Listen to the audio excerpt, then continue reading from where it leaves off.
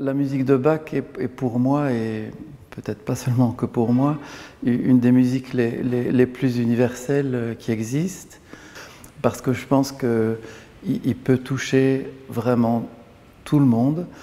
Euh, nous, évidemment, musiciens, on en a une certaine perception, on a l'aspect extraordinaire des, compositions, le, je veux dire, le niveau de pensée musicale tellement élevé qu'il a, est arrivé à, développer, autant on peut être euh, touché par, euh, par une, simple, une simple mélodie et, par des, les côtés aussi très simples de sa musique. Je pense qu'il y a dans cette musique des, des éléments qui sont destinés à, à faire comprendre euh, le, texte par des images musicales nous, donner une compréhension de ce texte on, en revient toujours à cette extrême complexité et donc qui permet euh, énormément de, lectures différentes et de compréhension différentes de, son œuvre, ce qui en fait encore une fois ce, grand compositeur euh, universel qui, peut vraiment toucher absolument tout le monde.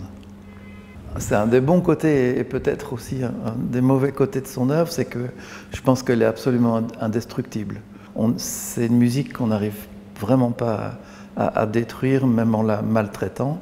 Je pense qu'il en reste toujours euh, l'essence. Et bon, comme je dis, ça peut être pour le meilleur comme pour le pire.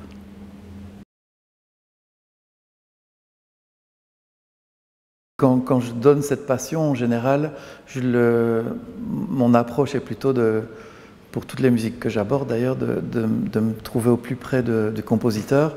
Et donc, euh, quand il s'agit de la passion, on, est assez bien renseigné.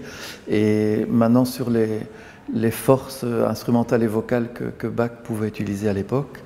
Et donc, euh, on sait qu'il a fait un quatuor vocal principal qui est soutenu par des, des voix ripieno et un, ensemble orchestral, disons, avec des, les vents, les, cordes plus ou moins au nombre de 10. Et ici, euh, c'était donc la volonté du, du Châtelet d'avoir ce, chœur d'amateur. Et donc on a fait tout un travail euh, en aval. Et donc je, fais, j'ai fait avec eux le, même travail que j'aurais fait avec mes, mes, huit chanteurs solistes euh, et, mon ensemble. Et, et donc j'espère ça se passe vraiment bien, oui. Enfin surtout, je les, admire énormément parce qu'ils ont quand même appris toute cette partition qui est extrêmement difficile. Euh, ils l'ont apprise par cœur. Et donc, rien que pour ça, je suis très admiratif.